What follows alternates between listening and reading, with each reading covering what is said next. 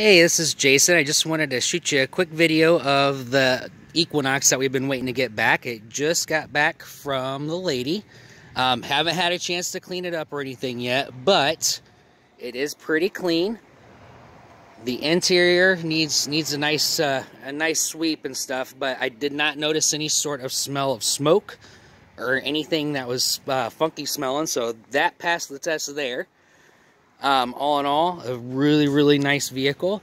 Um, one of the sales guys was driving it as a demo, so the mileage is actually at 52 117 now. Does have the backup camera with the Chevy MyLink. Seats are pretty clean. Like I said, it needs cleaned up again, but other than that, it looks like a really nice vehicle for you guys. Um, I know that you said that you don't have time to stop in either uh, today or tomorrow, but if you can give me a heads up and when you can make it out, I'd really appreciate it. I will talk to you soon. Thanks.